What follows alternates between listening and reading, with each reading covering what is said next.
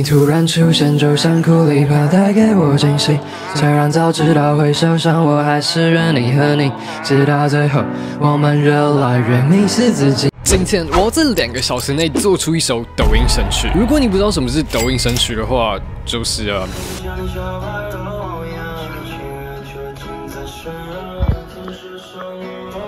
我们要在这两个小时内完全完成编曲、写歌、写词、录音、混音跟母带。哦，对了，如果你想知道成品如何的话，记得把影片看到最后。我只能说，这首歌一定会成为所有小学生的传说对决卡点模板。直到最后，我们越来越迷失自己，最后只能成为彼此的回忆。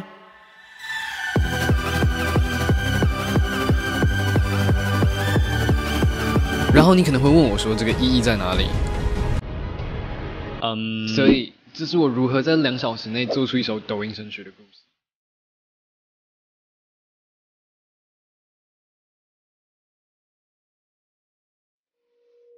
嗨我是苏一凡。在这支影片开始之前，我想要先澄清一件事情。可能有些人看到这个影片标题会觉得。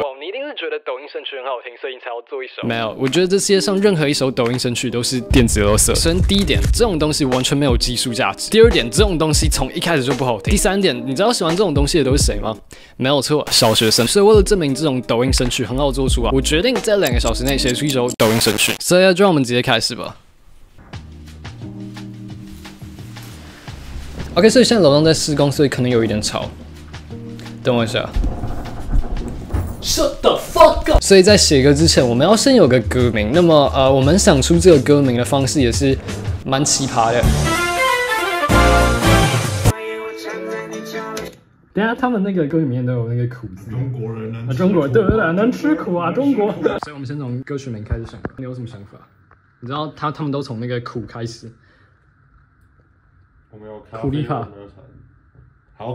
所以啊，这个是我们怎么取这首歌的名字的过程。呃，这首歌就叫做苦力怕。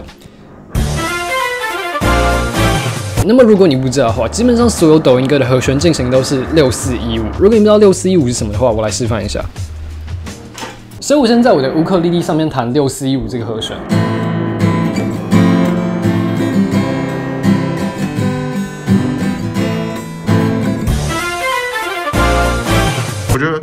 台湾 R&B 的故事，百分之九十九都是从爱情故事下面着手，所以我们只要把苦力怕当做爱情。对啊，所以我们就我们来描述一下，就是你是我的苦力怕，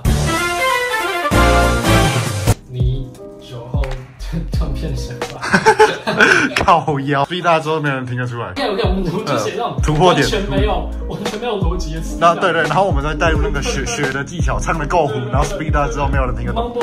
对对对，没有问题，没有问题。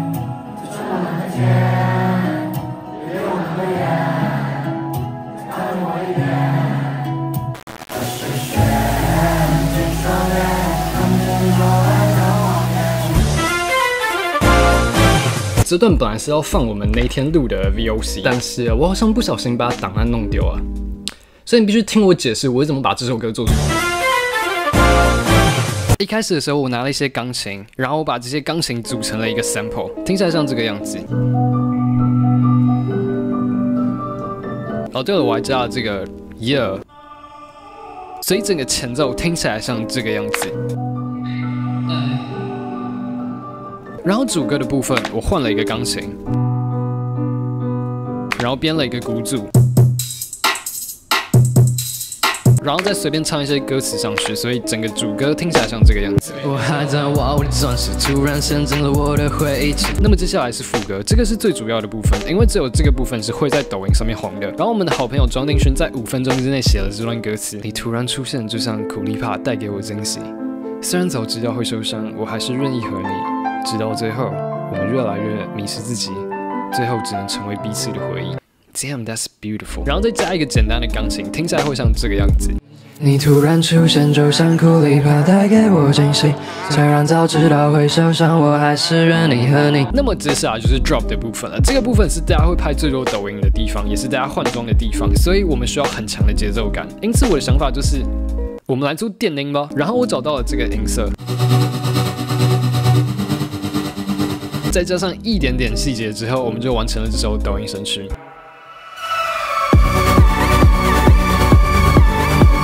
顺带题我们刚好在两个小时里面做得出来，然后接下来是交给专家评鉴的时候了。苏阳过来，过来，过来，苏阳过来。这是我弟，他是一个十分重度的抖音使用者。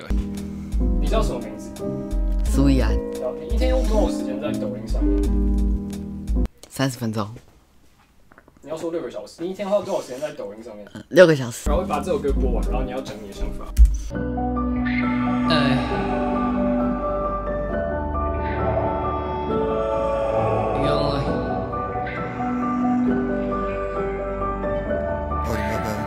one. 我还在挖我的钻石，突然陷进了我的回忆，期让我们在一起是夕阳下的那些日子。回到那天的尖叫时，你寄给我的信纸还收藏着，那还记得上面留着我的名字。女孩你飘渺不定，就像有势力的终结使者，被扣空的弓箭锁定，却还依然在这世上活着。与你有关的心事压轴着，用你最冲人的心事还在唱着，就用一瞥看见了你，但无情的碎片刺穿了我的心。你突然出现，就像苦力怕带给我惊喜。虽然早知道会受伤，我还是愿意和你。直到最后，我们越来越迷失自己，最后只能成为彼此的回忆。你对这首歌有什么想法？抖音的歌你觉得它在抖音上面会红吗？不会，你要说会，好，虽然我们已经获得专家的认可了，但这首歌还称不上是抖音神曲，因为这首歌还没有在抖音上面红起来，所以这就接着到下一个部分了。我们要让这首歌在抖音上面红起来。那么要让一首没有人听过的歌在抖音上面红起来，有两个方法。第一个方法是花钱让这些抖音网红用你的音乐做一首抖音。所以我问了一下我的八加九朋友，现在抖音上面最红的抖音偶像是谁？然后他给了我这三个人，呃，这个小雨。他长得是蛮符合刻板的，然后呢，喜德这个应该是小玉的备用账号，跟最后一个这个自称八九教科书的依依，所以我在 IG 上面私讯了这三个人，我说你好，我是广告音乐行销人员，想请问一下，如果想要请你使用我们旗下的艺人录制一个十五秒左右的 TikTok 影片，大概需要多少钱？可能是因为我的头像看起来不像呃广告音乐行销人员，所以呃已经一个礼拜过去了。没有任何一个人理我。那么现在我们就要使用第二个方法了，我们要自己拍抖音。然后我从来没有用过抖音，所以我要自己来创建一个账号。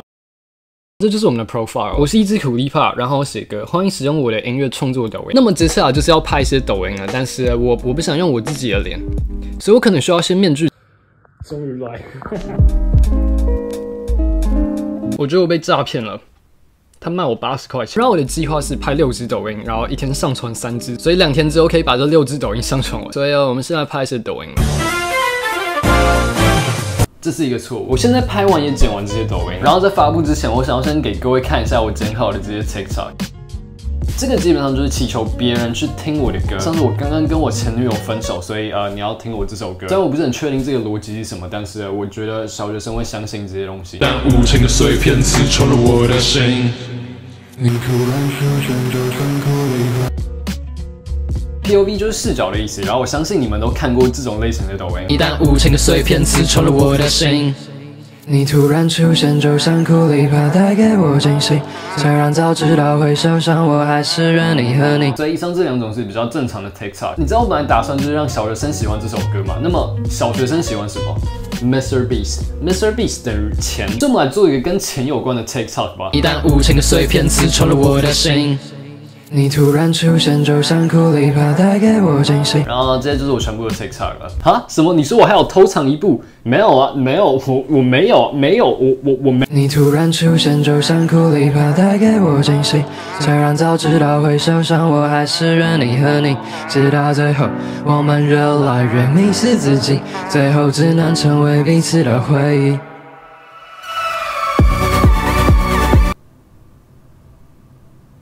不过，我也很好奇，我人生到底在干嘛。然后我现在先发布这六个抖音，明天再看一下成效如何。现在已经呃十二点了，我呢，现在。It's a moment of truth。这是我花了整整两个小时的歌，这首我专门为了抖音而写的歌，这首别无他法，只能在抖音上面爆红的抖音神曲。这个我认为可以在 TikTok 这个环境中脱颖而出，让我成为全世界小学生最喜欢的饶舌歌手的歌。在 TikTok 这个平台上面的表现如何呢？所以我们最后获得了五十一个粉丝和两百八十七个赞，然后这个数字蛮扯的。本来我以为可能只有几十个人会听到而已，所以我本来很开心，直到我发现为什么这个数字会这么高。是因为我苦力怕换装的那支影片。但是这首歌还是称不上是抖音神曲，因为还是没有任何一个人拿这首歌去拍抖音。所以啊，我想我差不多要放弃了。但就在这时，我突然想起了那些曾经对我给予信任的贵人，像是苏一安，还有我弟，还有羽生结弦。你知道全台湾八加九最多的地方在哪里吗？所以就这样，我踏上了去三重的旅途，然后听说很危险，所以我带了这个。我在内湖，所以只花了一点时间做捷运，然后做捷运，然后做捷运。这支影片花了我快一个月制作，不要问为什么，应该是我花了大部分时间在滑抖音上面。但嘿，我把这支影片做出来了，然后我自己很喜欢这支影片。如果你是第一次看我影片的话，首先非常感谢，然后如果可以的话，帮我按赞，然后订阅一下，这对我来说意义很大。在做这支影片的时候，我也学到很多东西，像是怎么剪辑这种类型的影片。然后呢，虽然马上就要开学了，但是我还有一点时间，所以我可能还是会尽量保持一个月有两支影片，应该啊，不保证。哎，对，你看一下，我到三重了。其实我觉得只要让我们的歌有超过十个三重听到，我们就可以制成他的抖音神曲。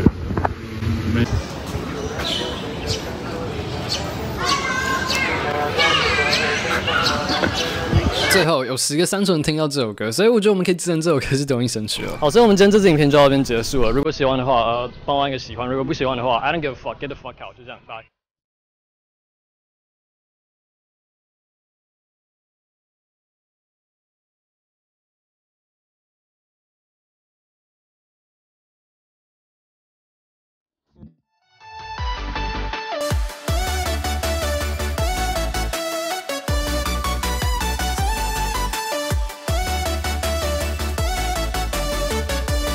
如果你也想成为下一位爆红创作者，请打开下方资讯栏链接，一起来投稿吧。